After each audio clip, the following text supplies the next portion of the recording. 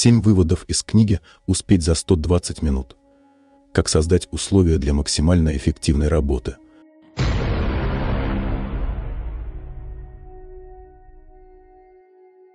Продуктивность – это искусство. Можно растянуть запланированные дела на несколько дней, а можно сделать их всего за несколько часов. Кажется, что это невозможно?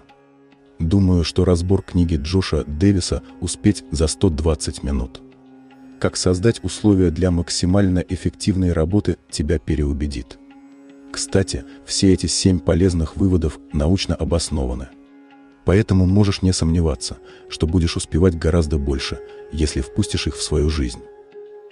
Цени каждый поворотный момент для принятия решения. Если ты до сих пор не составляешь список дел на день, у меня для тебя плохие новости. Ежедневно много сил и времени тратится впустую.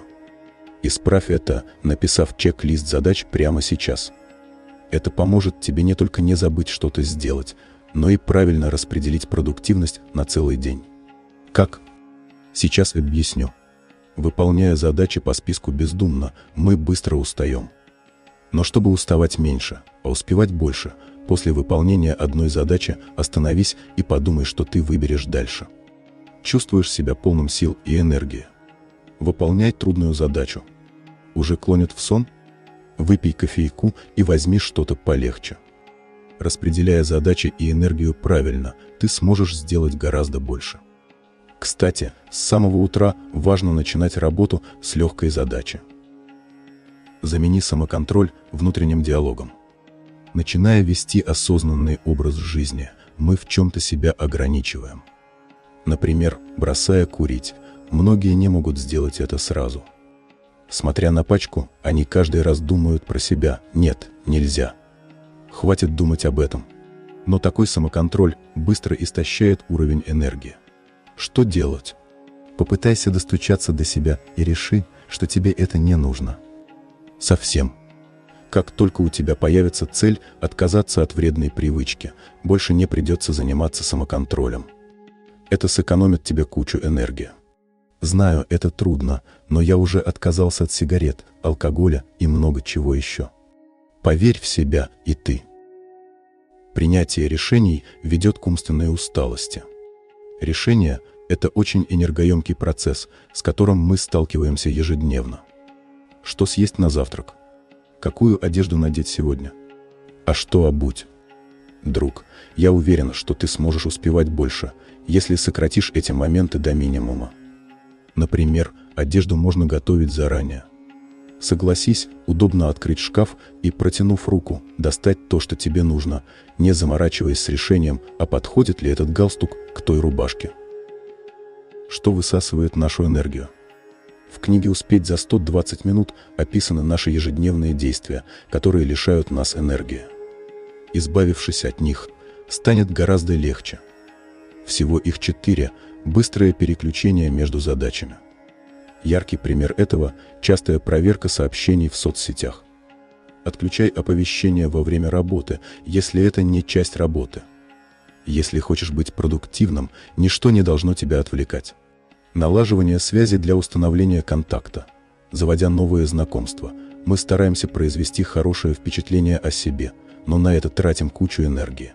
Старайся фильтровать контакты и уделять время только самым важным распознавание ошибок и их исправления. Мы все ошибаемся, без этого никак. Но главная ошибка – это быть идеалистом. Любой товар или контент можно доделывать бесконечно, но авторы книги советуют сначала его выпустить, а затем исправлять недочеты по необходимости. Планирование и согласование будущих дел. Чтобы постоянно не думать о том, что же ты забыл сделать сегодня, составляй список дел заранее. Для этого есть очень много хороших онлайн-сервисов, но я пользуюсь этим. Кстати, лучше всего ставить себе задачи вечером предыдущего дня. Если делать это в тот же день, мы начинаем себя жалеть. Правильное дыхание и юмор против усталости.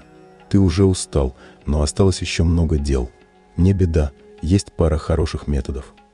При умственном утомлении автор книги «Успеть за 120 минут» Джош Дэвис советует медленное дыхание, которое поможет расслабиться.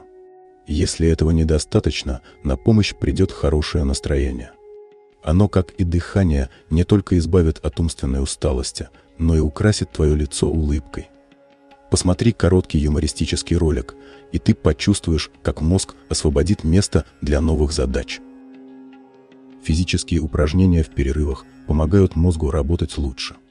Как часто ты разминаешься во время работы? Нет, погладить кота не считается.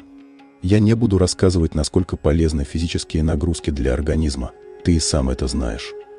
А вот тем, что они полезны для продуктивной работы, я с радостью с тобой поделюсь. На самом деле физические упражнения повышают внимание и улучшают мозговые процессы. Ну а если мозг будет работать быстрее, твоя продуктивность взлетит подобно ракете. Поэтому не ленись приседать или отжиматься в перерывах между работой, это совсем не трудно. Ешь мелкими порциями, пей больше воды и меньше кофе.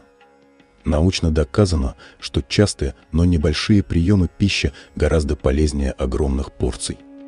На переваривание пищи, особенно тяжелой, твой организм тратит много энергии, ты знал? А что насчет кофе? Чтобы взбодриться, организму необходима лишь небольшая чашечка. Все остальное вызовет лишь дрожь в руках. Лучше пей больше воды, но не обычной, а структурированной. Еще ее называют эс-вода.